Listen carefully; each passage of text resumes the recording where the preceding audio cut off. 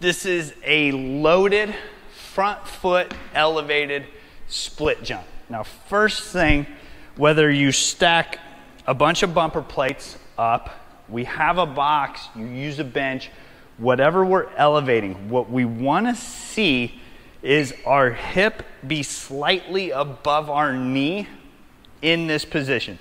I don't want your knee to be above your hip when the knee gets above the hip or we're shorter, smaller than 90 degrees in that hip, we're not going to be in a mechanically advantageous position to create power. Okay?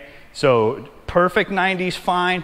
I would love you a little bit more than 90. Okay? So knee just below the hip so that we can really focus on being a good position to create that power down to translate into our single leg jumps or our acceleration. Now, when it comes to load, we're not trying to go super heavy here. We're thinking 10 to 20% of your body weight so that we can focus on the speed of the movement. Okay? So, how we'll set this up, you're gonna take a dumbbell in each hand, okay?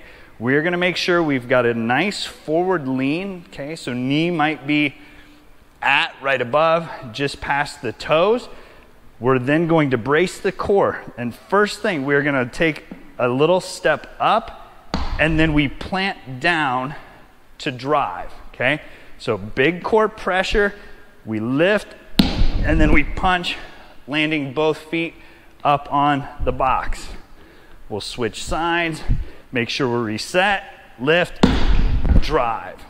And to get the most out of this, I want you to think when you plant, you are taking that first step on the pitch to either create space or make up ground that somebody else has created space. So go with an intention, focus, be explosive, don't just go through the motion.